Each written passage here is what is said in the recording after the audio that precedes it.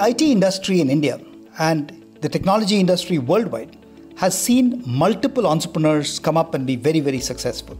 Today, there are opportunities for entrepreneurs to raise capital, whether it's in the seed stage or early investing from entities like our own company, 5F World, OneCrowd, CSVP Fund, and so many others. And of course, as the companies grow, private equity, whether it's General Atlantic, Warburg Pincus, Kedaara Capital, are all available.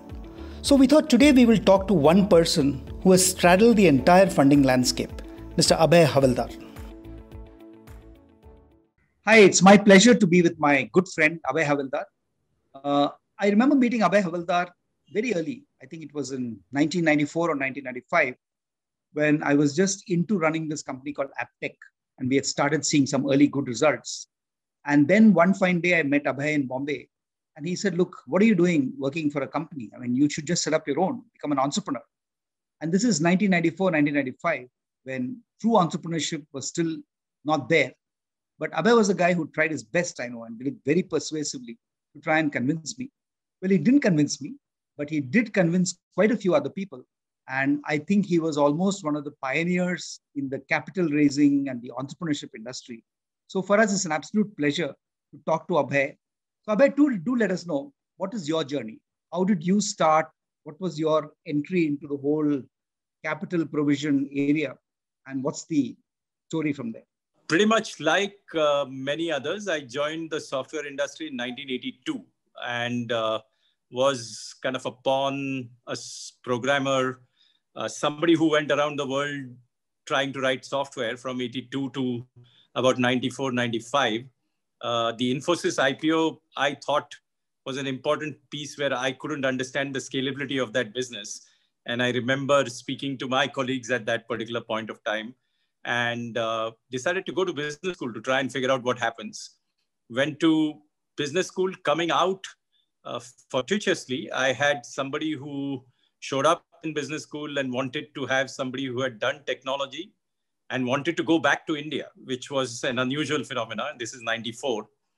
Uh, and the gentleman's name is Bill Draper. And uh, that fund is very well known right now. I didn't know what I was getting into. I was experimenting, he said, You don't need to worry. You understand technology, and I'll have questions and help me answer those questions. I mean, that is my introduction. You know, he wanted to do India. I had nothing to do as to why he wanted to do India, but uh, he didn't have too many people who were willing to kind of go on the journey with him. We had probably the most successful fund, and it has got to do with the structure of the fund in that period, but there was nobody else. So it was much easier to try and get things done and stuff of that variety.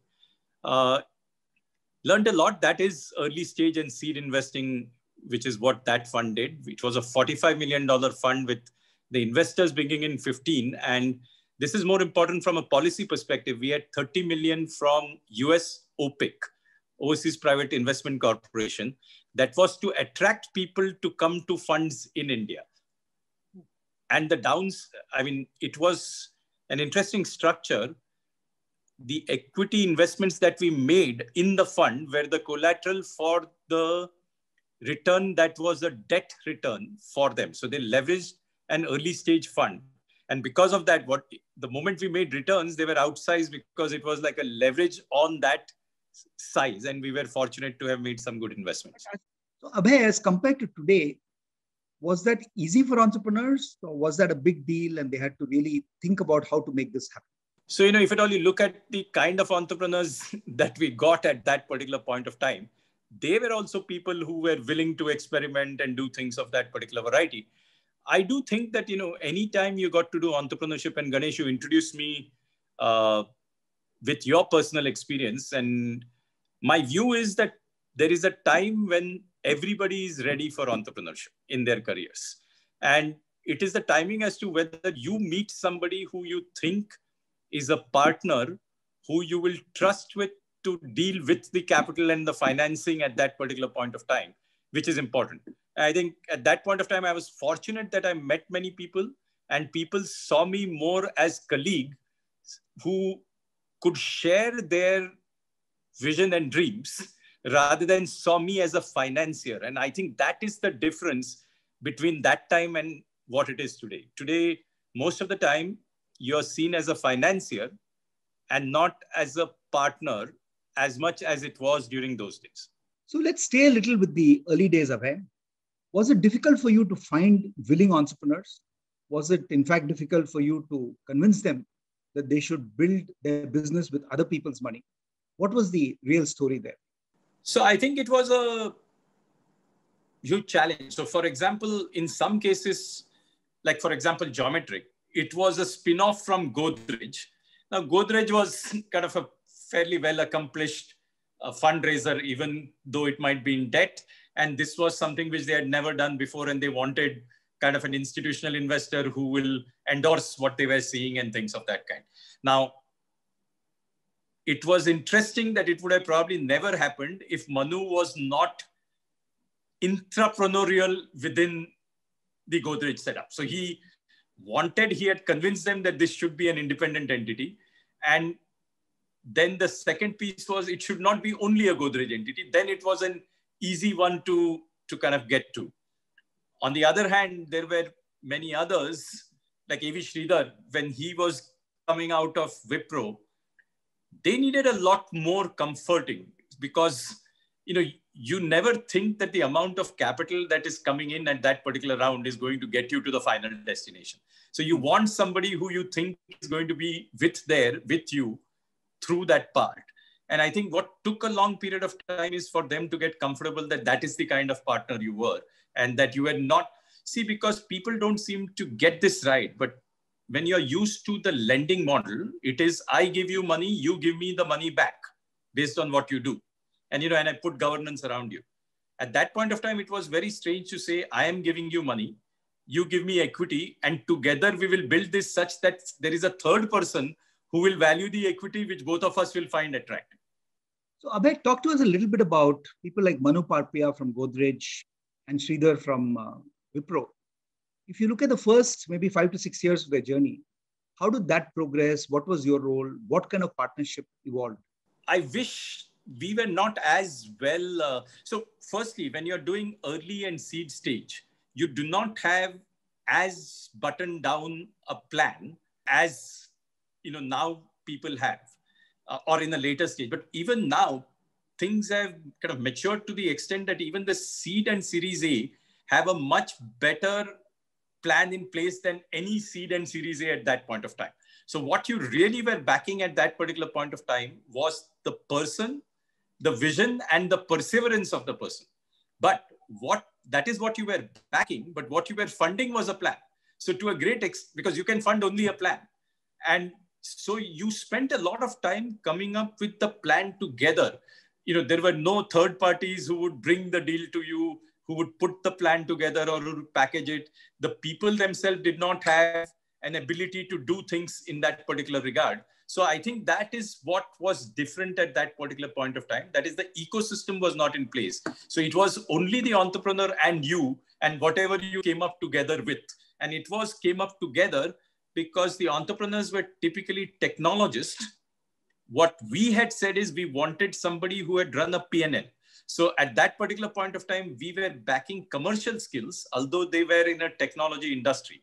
So if you look at our portfolio, Manu, because we thought he had commercial skills, AVS, because he went out and constructed a group with a CFO in there. So it was a co-founders group at that particular point of time. So in all these places, we were trying to do, you know, what in the traditional way you would call techno commercial. So the team had to have both technical and commercial skills to build a business.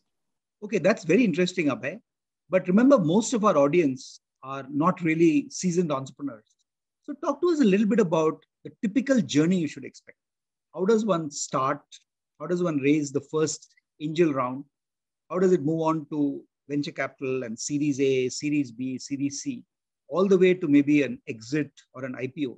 So, tell us a little bit about how that journey evolves many things out here, but this is a fully opinionated answer and a fully biased yeah. one because there are probably many different ways in which people will define it. But a seed round is typically when an individual or a group of individuals have a hypothesis which is not yet proven, and you're providing them the seed capital to take that hypothesis and convert it into something real. Now, the real could be a business plan, a real could be a pilot, a real could be many different manifestations. And that really depends on what business you're trying to build. So if you're building a deep tech business, you know, you would prefer to see a prototype.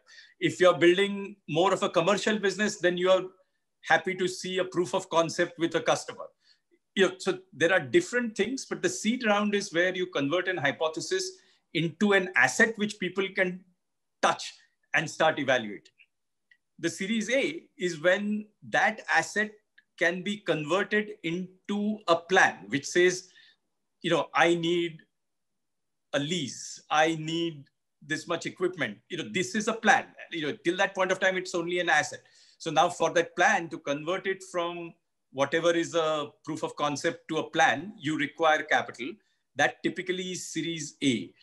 You will hear the word product market fit. So typically people expect that you use Series A to get a product market fit. So for a commercially minded person, if you look at a PNL, you not only prove to people that you can generate revenue, but you know at what contribution or gross margin you can generate that revenue. So if you look at the Series A, you look at it from the top down and you say, okay, at least I've got the first thing right, which is I know that there is revenue and I know if at all this business scales at what gross margin this business will scale, which is kind of the, the Series A. The Series B and C typically is articulated as growth capital, which would probably mean that okay, you got the gross margin right, you might need a pivot or an adjacency, etc., etc. But more importantly, to scale, you will define what needs to go into SG&A, which is you know, what is the fixed cost that you need to do and to what scale can you get it? Because at that particular point of time, you get to what is called as an EBITDA in a PNL. So at the end of series B and C, either you will go through another pivot or you will have an EBITDA that means that the more traditional financial investors who kind of value companies on a multiple of an accounting number typically start coming in, which is an EBITDA multiple. And you know, then you can go typically by the IPO in Indian context, there used to be a three-year PNL, you know, so profitability track record. So you from the EBITDA until you get to operating profit and then you get to net profit, you could do a few more rounds, but those are called typically a pre-IPO round because now you're saying at what price will this IPO and hence at a discount to that for the liquidity discount, etc. that I get. So rather than the kind of the Greek alphabet set, I see it very differently. One, is there an idea? Yes. Can that idea become a revenue? Okay, that is interesting at that revenue, will you make a margin? So is it profitable to be in that business? Can you deliver it and still make profit? Yes.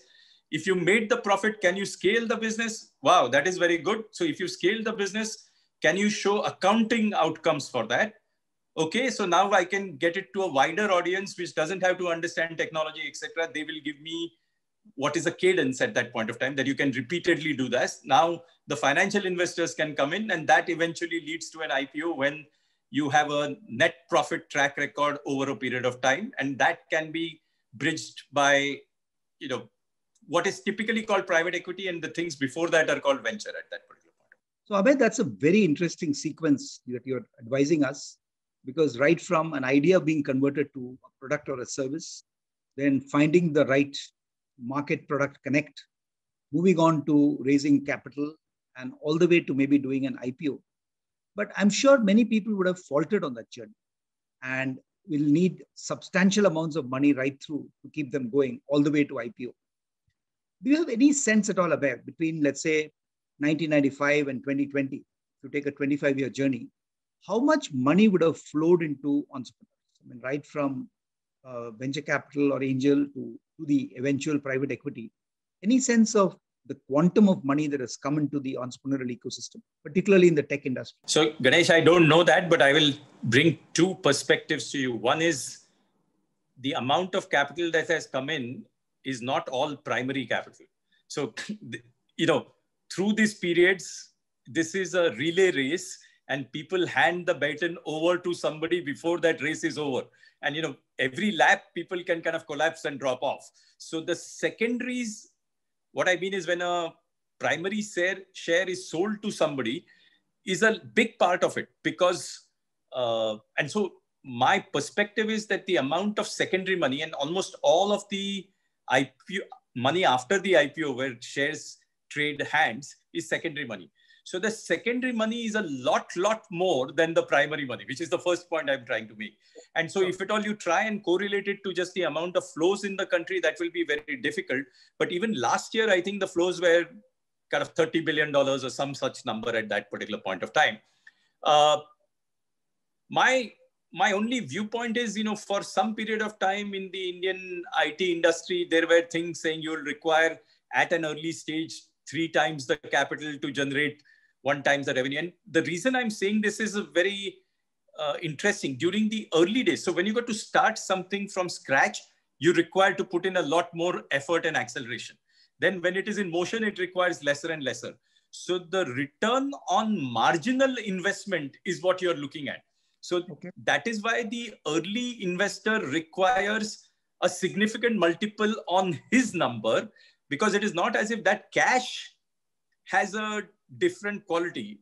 Because you're deploying it in early stage you require to put a lot more effort out there to get it to move even a little bit. And the reason i'm saying that is because cost of capital in the public markets will be let us say 20 25% right now. And then you keep on bringing it back to both the risk of it failing and the risk of how much effort is going to be required to make it succeed. And the reason i'm saying this all is because the returns that you saw in the Indian IT services industry are different from the returns that you would have seen, let's say, in Flipkart. Okay. So what happens is you have to look, so it is a risk adjusted gain that an investor is looking for. And what has changed and why you're seeing a lot more gain is because there is a track record of success in a short period of time which is a significant multiple to the initial capital. So I think if at all you look at it purely from one number of how much capital comes in, you will probably kind of give people the wrong impression because it comes into businesses with very different risk reward ratios. Those are very interesting ideas, Abhay. And I think a lot of entrepreneurs would benefit from that. But tell me one thing. I mean, everybody is talking about deep tech we're all very proud of the fact that the industry is moving towards deep technology. But if you look at the entrepreneurial scenario, the big success stories we are talking about are not necessarily deep tech. They're light touch tech and building big, maybe vertical domains, whether it's education or financial services, etc. So if you were an entrepreneur today, or if you were an advising uh, startup entrepreneur, what would you advise them? What are the areas to look at? What is the future in which they can actually build companies? You know, Ganesh, if when you and me were there in the 90s, you had people who came around with project reports saying, I'll sell you a project report for you to execute that. You remember those days, right? And then there were development finance institutions who did that kind of work. Unfortunately, that is not the case per se. I mean, when an investor is looking to fund you, he's evaluating the plan and you know then that and the market opportunity is one piece. But there's an important piece which people forget. It says, why should this set of people who are saying that they want to do it be the people to do it? Because you might like the plan and you might like the opportunity, but there might be nothing that these guys bring which gives the X factor for that plan to succeed. So why should you be executing this plan and not Ganesh Natarajan? And most people don't get that. So you can come in and say, this is a great market opportunity. And I'll give you an ex example. So it is difficult to tell people that I can't back you, but I like the plan as an investor.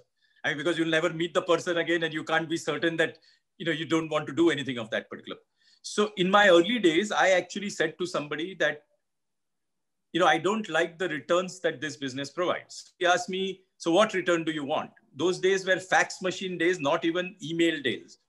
I got within 10 minutes a spreadsheet with a threshold number higher than what I had indicated.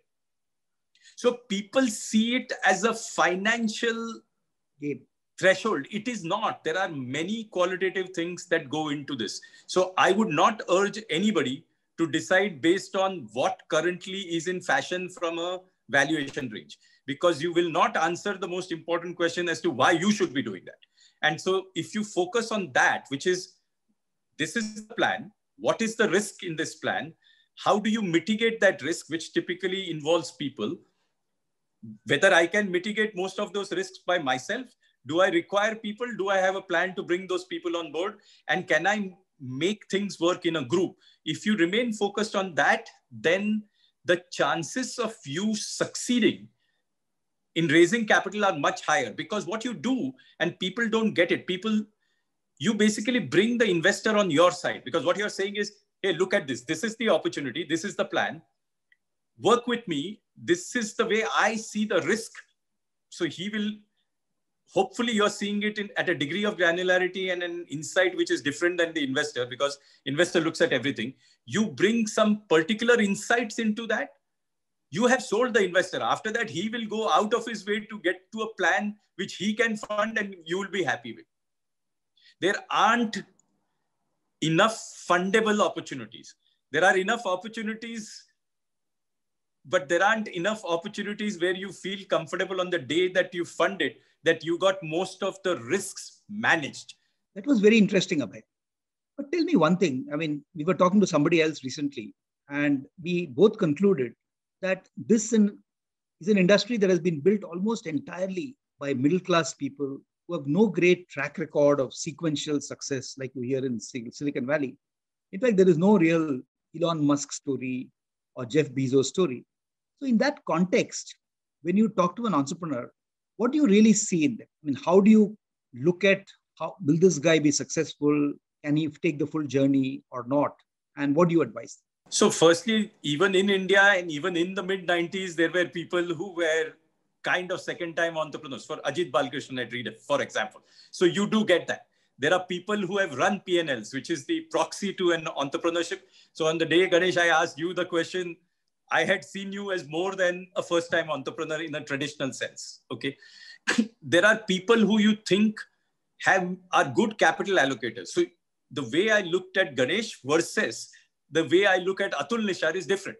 So Atul, I thought was a very good capital allocator. It wasn't his technical skills, but you know, the way he defined risk, the way he saw commercial risk. So there are different things. So my point is don't confuse yourself. So it is your entrepreneurial traits rather than whether you've been an entrepreneur or not. So one is looking for entrepreneurial traits and is looking for proxies to that essentially. And that is the full number line. And depending on the situation, so by the time, let us say, Hexaware was being done, that business model was pretty much well understood. So people didn't have to construct a business model you did need to make some good sound commercial decisions in recruiting and a bunch of other. So at that point of time, it was good to fund Atul, which might not have been the case five years before that.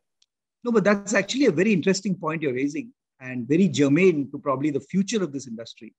So can you tell us maybe one case study or example of an entrepreneur who you met in the early days and he or she then went on to go through multiple stages and really built a fantastic business. I think it'll really help us to get a case study from One, there are many. Unfortunately, some of them are Indians who are in the valley because they learned that piece in their previous businesses. So, you know, if you look at a product manager in a startup in the valley, he's got different skills and he comes with those skills.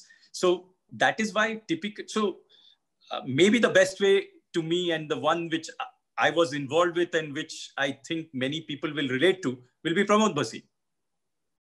Now, if you look at Pramod, okay, he hadn't been an entrepreneur before. But if you met Pramod, you would not believe that he was not an entrepreneur before, even at that particular point of time. Right? One, Pramod had conviction.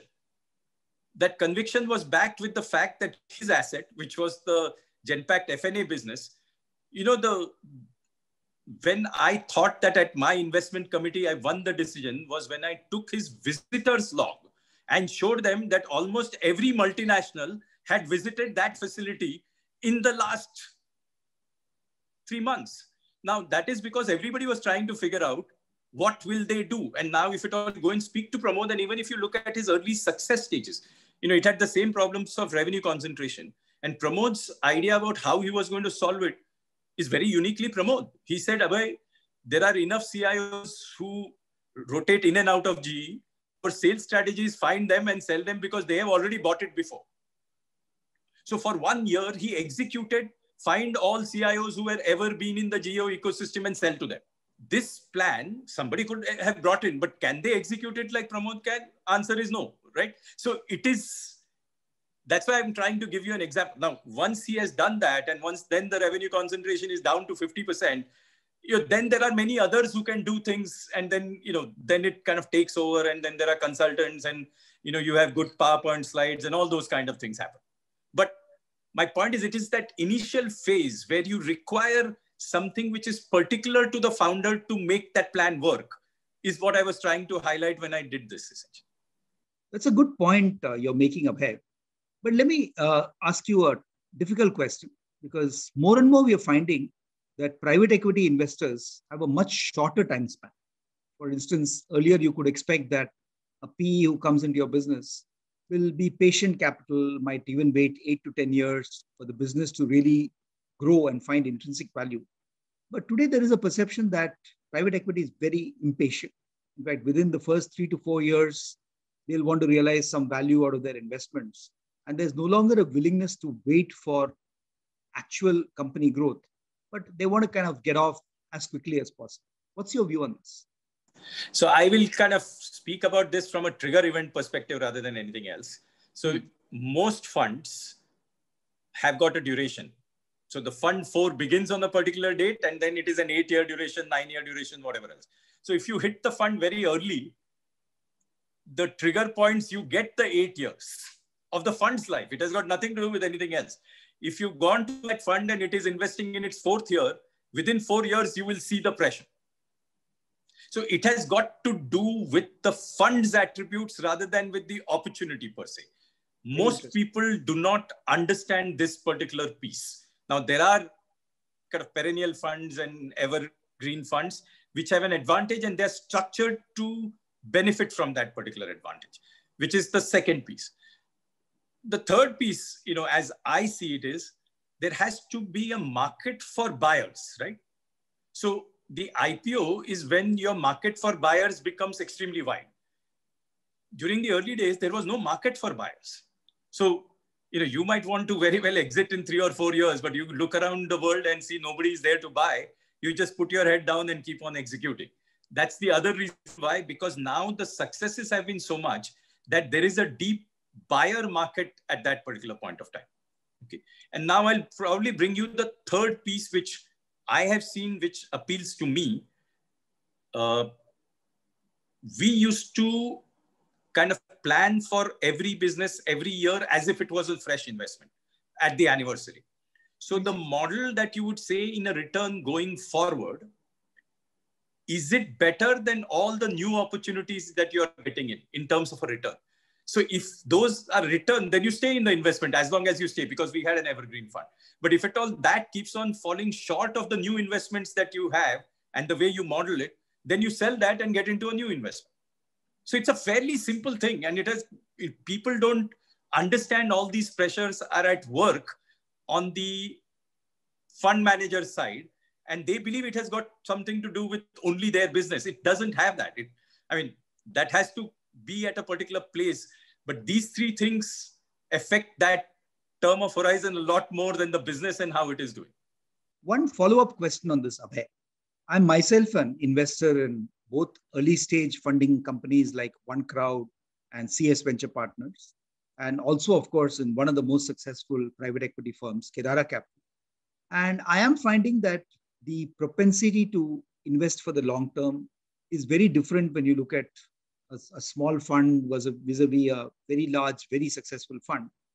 So how do you think an entrepreneur should look at this? That when an entrepreneur raises various rounds of capital, what should be his or her expectation of the longevity of capital coming from each of these sources, whether it is early stage or private equity, as they go forward in their journey? So, you know, I actually don't think it is as much the individual which matters. It is about what kind of money that you're managing. So, typically, the venture money you do aim for the big winners. And private equity money, you got to make every investment work. Mm. There are very different ways in which you approach an investment. So, because of that, the venture folks do very well when there is a new market opportunity which is going to scale very large. So for example, e-commerce in India was that, or you know, if you look at 5G at this particular point of time, it will be that, or you look at cyber. So these are kind of large white spaces. And you need somebody who will get in there. And it is almost who has to be brave enough to say, I am going to take all those uncertainties and still make it work. It requires a very different personality versus somebody who says, I know exactly what I'm going to do. I'm going to be extremely disciplined in executing to that. I have the cadence where I will predict and deliver to that. And you have done that and you know what that means. That is private equity. So my point is they are, you know, they might manage capital. They might be the same individuals who manage those two different capitals. When I was managing a venture capital fund, what I was doing and my behavior was very different when I was managing a private equity fund. And if I was managing a private equity fund, which is a buyout, it would be far more different than even that. So my point is it is about knowing what capital you are bringing on board. And the reason I'm saying that is actually the biggest danger is when you mix all these. See, because people, uh, I don't think Ganesh, you really understand the impact of what is called as a liq pref table. People think that everybody values equity and i love it when people say this is valued at 14 billion 18 billion 19 billion whatever it is. When you have a liquidated preference as the instrument that you own versus a common equity it is a very different. You have actually chosen not to value the company because what it basically means is so let's say i have a one time liquidation preference right when i invest 100 million and I am senior to everybody else, if the value, whether assume that I valued it, I've gone in when it is $2 billion. If the company is valued at 100 million and it goes into liquidation, I get all my money back, others get nothing. So what happens is, you know, depending on where, so when there are down rounds, so if let's say an entrepreneur aims for a very high round and then he's not able to fulfill that promise. And there are down rounds, you have five investors out of which two are everybody is unhappy but some people say okay let me shut this business down and get my capital out. The others even if at all you shut the business down they'll get nothing. So they are saying I, it is that ajit you know hydrogen to me whatever oxygen to me manne nahi dega hydrogen to me jine nahi dega. That is a liquid with five levels of things so Abhay, you've given us many magic words like quantum computing and 5G and artificial intelligence, etc. So now let me take you to a crystal ball and say, let's look into the future. If entrepreneurs now, and they do, want to really get into the future focus areas of the world, what should they be looking for? Are there any specific sectors that you, with your wisdom, have discovered or are very excited about, where there's going to be a gold rush, maybe somewhere in the next five to 10 years? And that is where you would like to point entrepreneurs. What's your advice? I mean, my view is uh, probably slightly defined. So at this point of time, maybe I will tell you why I am optimistic about India. And I'm going to give you a little bit of policy because then I'll answer that question to you.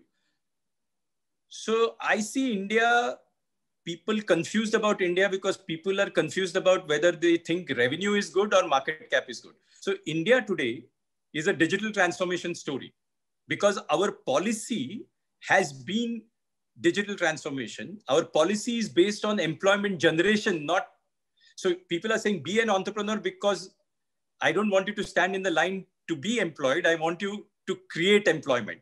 So if you add all of that up, I think it is a digital transformation story. That means that if at all you get something right today, it will be more scalable. It will yield much better returns and you do not need to have 50% market share and beat the old guy who's in the business to be able to beat him. So for example, Flipkart did not have any market share as compared to, let's say, Pantaloon or whatever else, but they had a market cap which is significantly larger. Investors value future cash flows. There is very little value for your historical cash flow. So if you look at India as a digital infrastructure and digital transformation story as a country, then you are looking at market cap. And that is why today you have more value creation in the private industry rather than in the public industry. So that is why you have 25 unicorns which are private. And that is why everybody is saying how do i get access to them? And then you know ganesh Natarajan will invest in three private equity funds and etc because people need to have access to that particular piece, which is not available in the public markets. so that is the one important piece. And my view is all businesses will eventually have to deal with this digital piece because the operating leverage and the efficiency for everything will come through the digital piece. And so you don't necessarily need to come up with the new technology areas. You can take an existing business and say, how can I deploy, for want of a better word, digital or exponential technologies to create a competitive advantage for me? If you look at your business, whatever you guys are involved with, and if at all you can see running that business in a different manner, leveraging the current technologies, I think your risk reward will be far superior for you to go in and say, oh, मुझे पता है 5G होने वाला है, I will do open RAN and network slicing. I mean, it is okay for people who have done something like that and where it is a continuum for them to do that. There are enough opportunities out there, but I think there are enough opportunities in something, a business which you know very well, which you think you can change by using digital technologies to create a competitive advantage which is sustainable over a period of time.